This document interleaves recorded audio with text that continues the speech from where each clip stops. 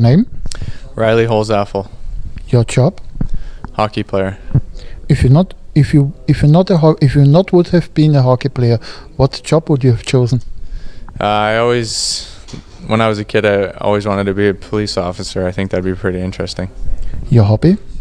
Golf, Facebook or Twitter? Facebook, Schnitzel or pasta? schnitzel, Wine or beer? beer, The landscape, town or the landscape? uh, landscape, The the location where it's highly possible to meet you. Oh, uh, maybe the hockey rink. I like to spend a lot of time in, in the rink.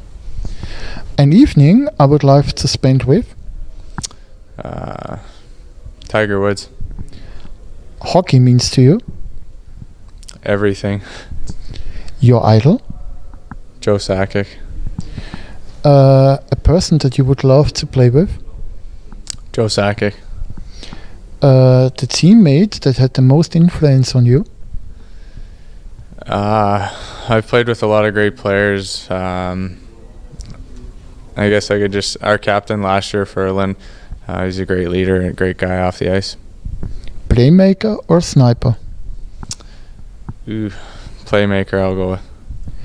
Your personal starting six. Uh, Sidney Crosby, Joe Sakic, Wayne Gretzky, Connor McDavid, uh, Patrice Bergeron, and Ovechkin. I'll go with What makes you happy?